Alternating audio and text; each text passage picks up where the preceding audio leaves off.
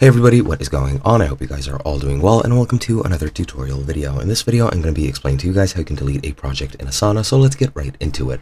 As you can see, I'm using a project that I've used for a previous tutorial that I recorded, and this is just bloating my project's, uh, menu, as you can see to the left.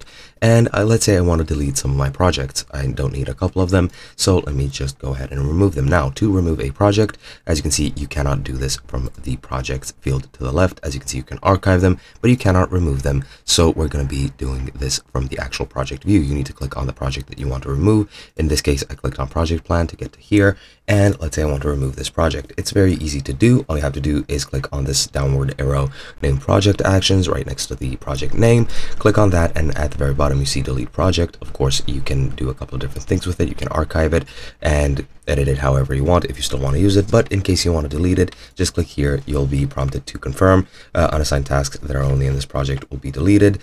Uh, custom fields that are local to this project will be deleted. Rules in this project will be deleted. Task templates and read-only links will all be deleted. So make sure you don't want any of them deleted and back them up if you want to save them. And then just confirm by clicking delete and that's all you have to do. Hope you guys enjoyed and I'll be seeing you guys in another video.